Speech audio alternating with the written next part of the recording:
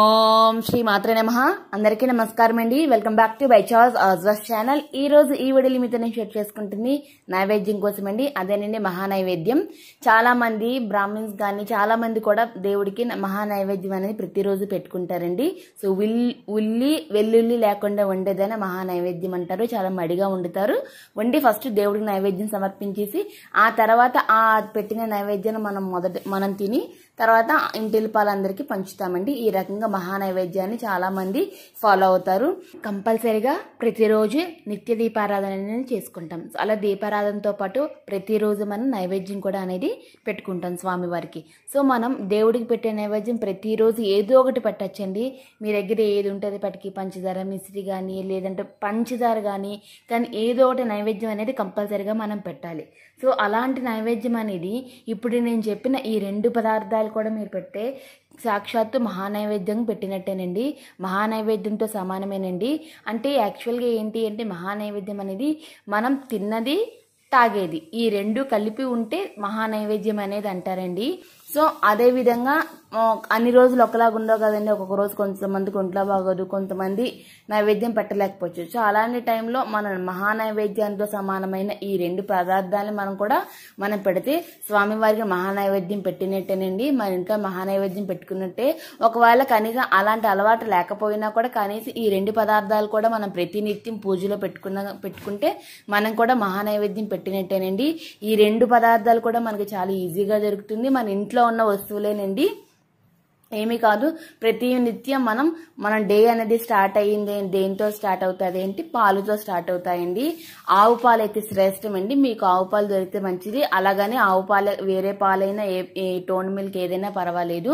So ఆవు పాలు first మనం మొట్టమొదటిగా మనం మరగబెట్టుకుంటాం. సో మరగబెట్టుకునేక ఒక గ్లాస్ చిన్న గ్లాస్ మన పాలు అనేది పక్కన పెట్టి తర్వాత మీ పాలు అనేవి వాడేసుకోవచ్చండి. మనం పూజ చేసేటప్పుడు ఆ పాలని మనం చిన్న వెండి బౌల్లో కానీ లేదంటే ఇతర బౌల్లో కానీ ఏదైనా చిన్న దాంట్లో వేసుకొని మనం స్వామివారి నైవేద్యమైన సమర్పించుకుంటాం. ఉట్టిగా పాలు కూడా పెట్టుకోవచ్చు. అదేవిధంగా ఉట్టి పాలు కాకపోయినా కనీసం అందులోని కొంతమంది పంచదార పౌడర్ యాలకుల పొడి వేస్తే ఇంకా ఇష్టమండి. ఇలాగా ఈ ప్రసాదం మహాలక్ష్మి అమ్మవారికి కూడా లక్ష్మీదేవికి చాలా ప్రీతికరమైన పదార్థం అండి ఈ పాలు పంచదార యాలకుల పొడి ఇలా చేసిన పదార్థం అని ఈ ప్రసాదం అనేది లక్ష్మీదేవి మహాలక్ష్మి అమ్మవారికి చాలా ఇష్టమండి. చాలా ఇష్టకరమైన నైవేద్యం ఇది. మనం ప్రతినిత్యం ఇలా పెట్టుకోవచ్చు. అదే విధంగా దీంతో పాటు మీ ఇంట్లో ప్రతినిత్యం ఉంటు ఉంటుందండి. ప్రతి ఒక్కరి ఇంట్లో ప్రతి ఒక్కటి ఉంటుంది ఇది. ఫ్రూట్ అనేది ఉంటుందండి. ఏదో ఒక ఫ్రూట్ అండి మీ దగ్గర. ఏ ఫ్రూట్ అంటే ఆ ఫ్రూట్ అనేది పెట్టుకోవచ్చు. మనం ఈ రెండు పదార్థాలు మన నైవేద్యంగా ప్రతినిత్యం పెడితే మహా నైవేద్యంతో సమానమండి. ఒకవేళ మీ ఇంట్లో పండు లేదనుకోండి ప్రతి ఒక రోజు ఉండొచ్చు ఒక రోజు ఉండకపోవచ్చు కదండి. మీరు అరటి పండు పెట్టచ్చు ఏ పండైనా పెట్టినా అది మహానైవేద్యం సమానమే అవుతుంది. ఒకవేళ లేకపోతే మీ దగ్గర ఎండు ద్రాక్ష ఉంటుంది కదండి కిస్మిస్ అంటాము. అది గోధుమ రంగులో దొరుకుతుంది బ్లాక్ కిస్మిస్ నలుపు రంగులో కూడా దొరుకుతుందండి. ఈ రెండిట్లో ఏ రంగు పెట్టుకున్నా కిస్మిస్ అయినా పెట్టుకోవచ్చు లేదంటే ఎండు ఖర్జూరం అయినా పెట్టుకోవచ్చు అండి. కానీ ఖర్జూరం అని తినడం కష్టం కాబట్టి ఈ రెండు కిస్మిస్ అంటే మనం తినచ్చు లేదంటే కనీసం పిల్లలకైనా వెంటనే ఇచ్చేయచ్చు. సో అలాగా అది మీరు పెట్టిన పదార్థాలు కూడా మనం ఇంటిల్లో వాళ్ళు తినేస్తే చాలా మంచిదండి వేస్ట్ అవ్వకుండా. అదేవిధంగా కొంచెమే పాలు కాబట్టి వెంటనే నోట్లో కూడా వేసేసుకోవచ్చు. ప్రసాదాలు ఎప్పుడు వేగంగా బయట ఎక్కువగా పడేయకండి. కొంతమంది మర్చిపోతారు. సో అందుకే మీరు పెట్టిన కొ- దీపం కొండెక్కినంత వరకు కొంతమంది పెట్టే ఒక పది నిమిషాలు అవగానే తీసి నోట్లో వేసేసుకోండి. కనీసం మనం వేస్ట్ అవ్వకుండా కనీసం ఆ యొక్క ప్రసాదాన్ని మనం తిన్నట్టయినా మనకు సాటిస్ఫాక్షన్ ఉంటుందండి.